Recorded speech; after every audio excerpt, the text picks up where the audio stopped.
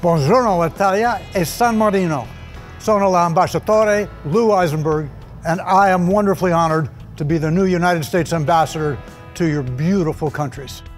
When my wife Judy and I have visited Italy, we cannot help but walk away with the feeling and warmth, the spirit of the Italian people. It is a country that leaves a place in our heart that we and those who have been here will never forget. And we are certainly not alone in our love and enthusiasm for Bel Paese, the beautiful country of Italy. Over 6 million Americans visit every year, and almost 35,000 American exchange students study in Italy each year. There are a multitude of business initiatives that have already begun and are prospering between Italian and American companies.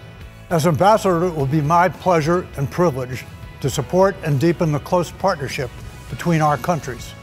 We will seek to create new opportunities for our businesses by continuing to develop the deep defense and security relationships and by connecting our people through educational and cultural exchange. Together with our three daughters, their husbands, and 11 grandchildren, Judy and I are excited to explore all of Italy and San Marino, to learn more about the history, the art, the architecture, and to enjoy the diverse food and beauty of both countries. We hope to meet many of you in person during our travels. And in the meantime, I invite you to follow us online. Ci vediamo presto. Grazie mille.